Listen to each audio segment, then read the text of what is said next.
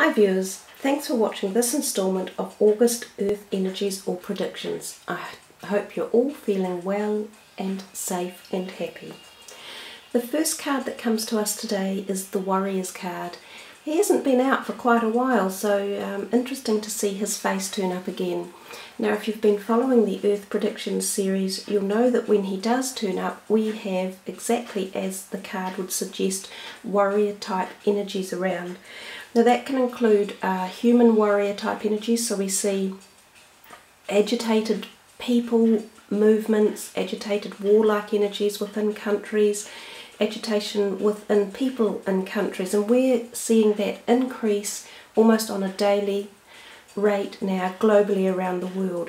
This card sort of um, indicates a Middle Eastern feel. Up in those older parts of Europe and up through the Middle East is often what I feel, with the buildings in the background, the outfit that he has on in particular. So we feel a little bit of northern activity energy related and I sometimes think this card also picks up uh, earth related movements so an increase in activity or this water in the background that's gushing through here can sometimes mean um, quick rapid flowing water so landslides or avalanches or it can also indicate dust storms so rapid quick fast moving energies somewhere often in the northern hemisphere of the globe, but I think the globe is moving fairly swiftly with pretty active energies all around at the moment. And part of that is to do with the planetary lineup that we have. It's just quite an active lineup of planets that are pushing us all out of our comfort zones, I think you could say.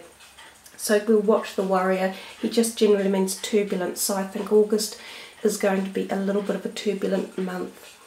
The next card that arrived is the Sun card in the nice thing about the Sun card is the celebration here, and it's involved celebration of children. And I can't help but think somehow the new prince born in England just earlier this week in July, that's a feeling of celebration around him anyhow. So I think there will be sort of quite light-hearted feeling of celebrations involving him.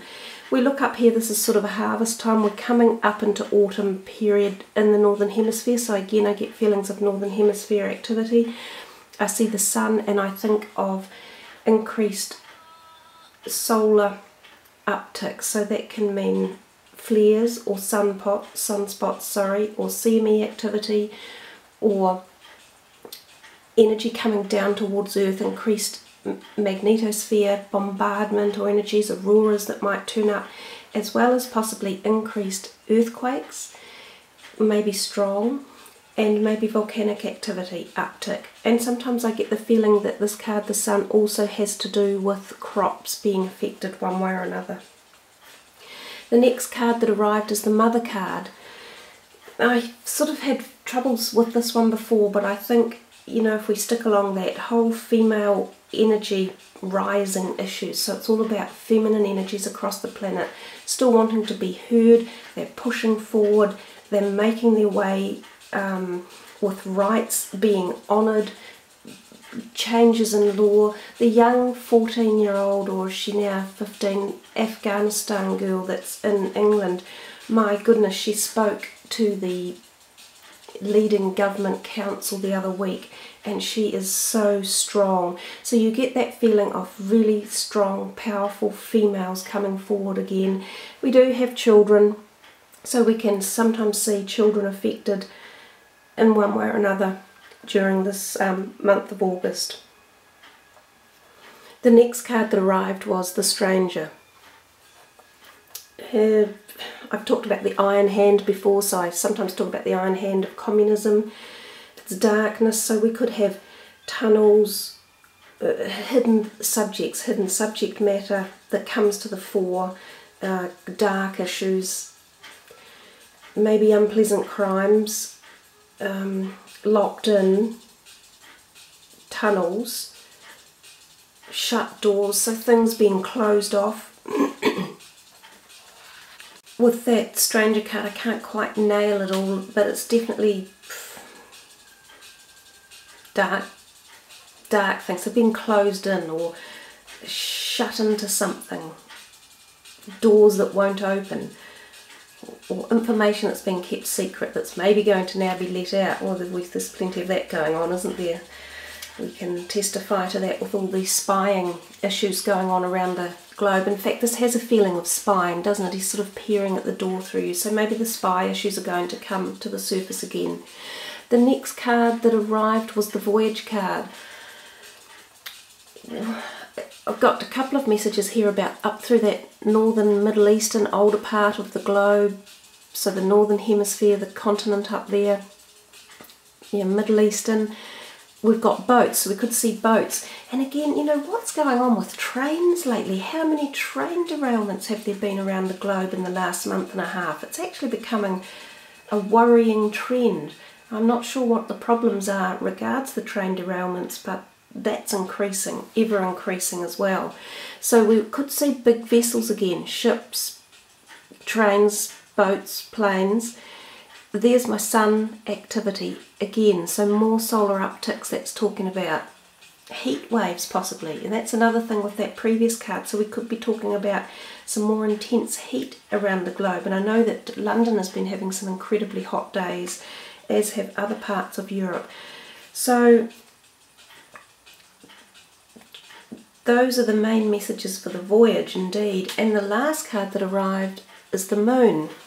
So that's the second time in a month or the second time in a row that that card has turned up. We had him in the July reading. Lots and lots of stuff ended up happening around that moon. The birth of the royal baby happened on the full moon in July, which was a super moon, sort of an auspicious date for that. We've had several earthquakes in New Zealand around the full moon, and they were in the Cook Strait, which involved the sea and they were in July, which was the period of the Cancer star sign. So we also talk about planet lineups when this card comes up, sea issues, sea bed or sea wall issues, animal die-offs. The moon obviously does have a part to play. Possibly I'm still thinking um, New Zealand activity a little bit because we had it last month it's quite an active card. I'm still working through all the meanings of the moon. It seemed to be quite active in a whole lot of different areas that popped up for it. So maybe in August we've got some more quite strong planet lineups, more activity from the skies, definitely sea related activity. Could be an increase in quakes related in the sea. Anyhow guys, that's about it for the August reading. I've brought along this little Kiwi chap for this one just because we've had quite a lot of uh, activity in the July period so I thought I'd pop our Kiwi friend in there. I hope you all have a wonderful August ahead. Enjoy your summer in the Northern Hemisphere and for us in the Southern Hemisphere as some of us are enjoying winter skiing or going to slightly warmer places for summer breaks. Anyhow, all take care, be safe, kia kaha, much aroha. Peace.